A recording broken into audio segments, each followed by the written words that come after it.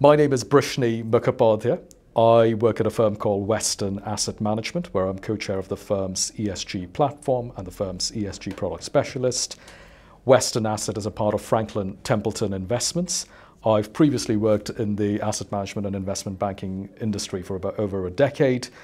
I also chair the Chartered Financial Analyst Institute's ESG Advisory Board, along with other industry initiatives.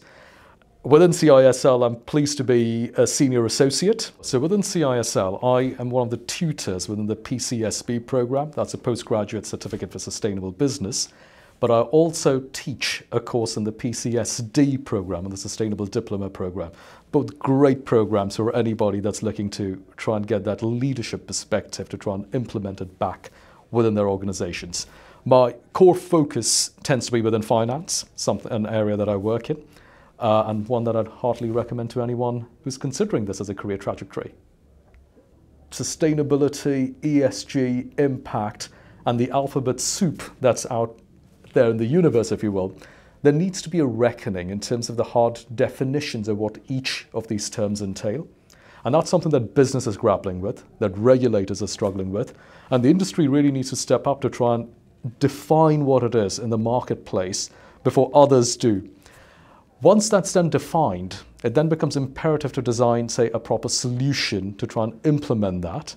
And that's where somewhere like CISL can come in and try and really shape that dialogue going forward.